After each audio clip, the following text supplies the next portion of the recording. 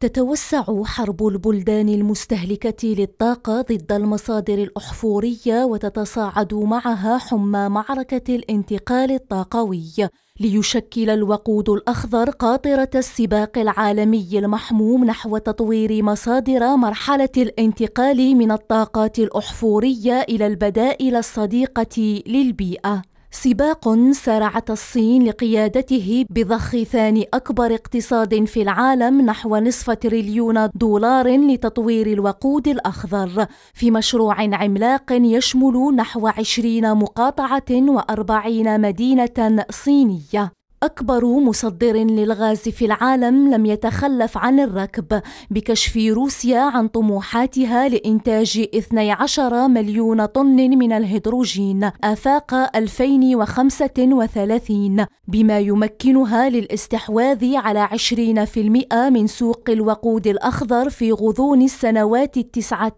المقبلة. وعلى ذاك النحو تتجه السعودية أكبر مصدر للنفط الخام في العالم لضخ أزيد من 100 مليار دولار لإنتاج الوقود النظيف. كما كشفت أستراليا عن مشروع عملاق باستثمار أولي يعادل 15 مليار دولار لإنتاج نحو نصف مليون طن سنويا من الوقود الأخضر.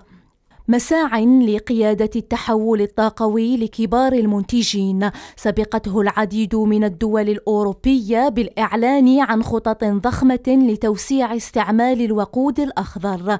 على غرار إسبانيا التي كشفت عن خطة لاستثمار أكثر من 18 مليار دولار. في مجال تعول عليه مدريد لاستحداث أكثر من ربع مليون وظيفة. تسابق عالمي لم تكن البلدان الإفريقية في منأ عنه بإعلان الجزائر عن خطة طموحة لإنتاج كميات وصفها وزير الطاقة الجزائري بالهائلة من الوقود الأخضر.